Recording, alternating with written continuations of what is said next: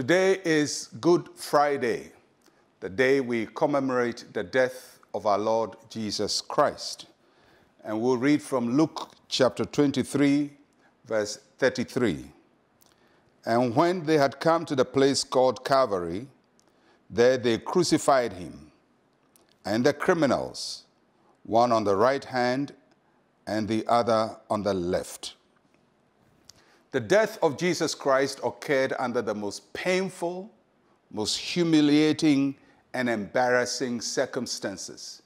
The extent to which the Son of God went for our salvation is remarkable. The form of his death, the place of his death, and the people he died with were all very, very humiliating. But that was the price that the Son of God paid for our salvation. And it shows the extent that God will go to bring us close to Himself. And so we examine those three uh, individually. The first is the form of His death, crucifixion. Jesus was crucified. It was the most cruel punishment of the Romans. It was invented by the Phoenicians and perfected by the Romans. It was a very painful death designed to humiliate the person who was being executed. And Jesus Christ not only uh, suffered crucifixion, but he was whipped, he carried his cross, and he was nailed publicly on the cross. Crucifixion was a very slow death which resulted in suffocation. The second is the place where he died, Calvary. Today it sounds like a very nice name, but Calvary was a place that was a rubbish dump, Golgotha for the Hebrews.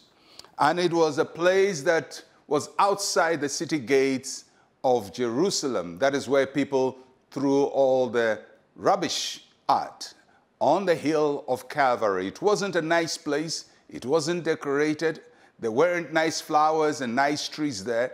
It was just a pure, filthy, dirty rubbish dump.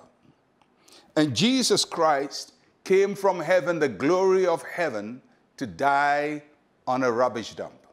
And there, where all the west of the city was thrown out, what nobody liked ended up in Calvary.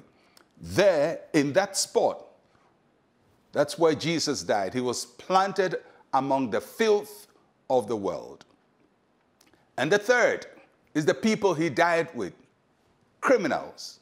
So, crucifixion, Calvary, criminals, common criminals, thieves who had committed common crimes and were now being executed for their crime.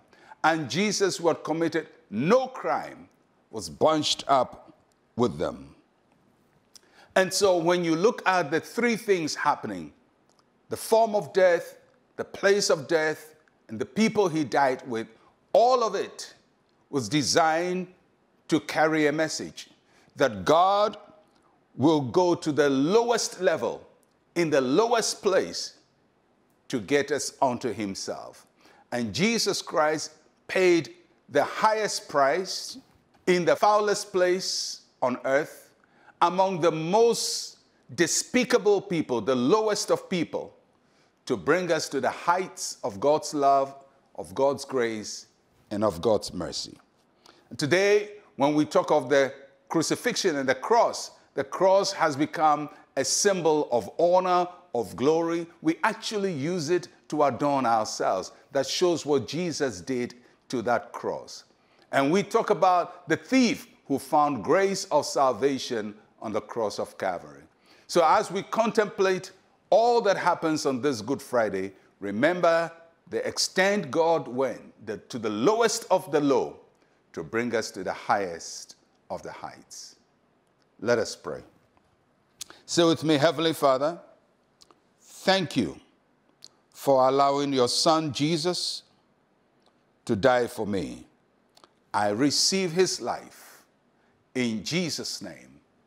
Amen and amen. Well, my friends, I'll catch you again tomorrow as we talk about the events of Holy Saturday I am Pastor Mensa Otabil. Shalom, peace, and life to you.